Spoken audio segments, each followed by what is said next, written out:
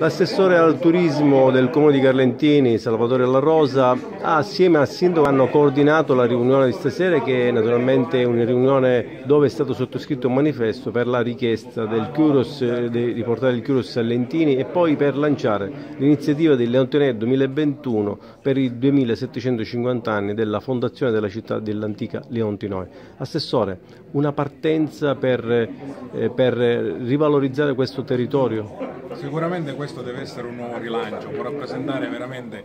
la prospettiva di poter avere una vetrina così importante nel nostro territorio, quale il 2750 anniversario, che è l'occasione magari di avere una maggiore risonanza, e la battaglia del Curos, che è una battaglia che noi mh, vogliamo veramente combattere con tutte le nostre forze perché ne va della dignità e della possibilità di sviluppo del nostro territorio. È impensabile che in questi anni, dopo la ricomposizione diciamo, della testa e del capo si sia dibattuto su dove potesse alloggiare, se dovesse essere a Catania o piuttosto che a Siracusa, senza considerare che questa è la, sua casa. Quando noi già nel 2018 abbiamo lanciato la battuta Ucaruso a tornare a casa, perché poi questo è il Curos, il Curos è il fanciullo di Leondinoi ed è giusto che torni a Leondinoi.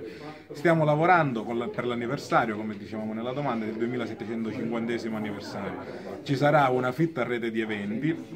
che eh, coinvolgerà le comunità di Carlentini e di Lentini insieme, le due città e il parco e anzi chiedo a tutte le associazioni di essere vive su questo, tutte le associazioni del territorio e di avere anche delle idee da proporre al tavolo in modo tale che possiamo fare sempre un calendario più ricco e più fitto di eventi per poter promuovere al massimo il nostro territorio.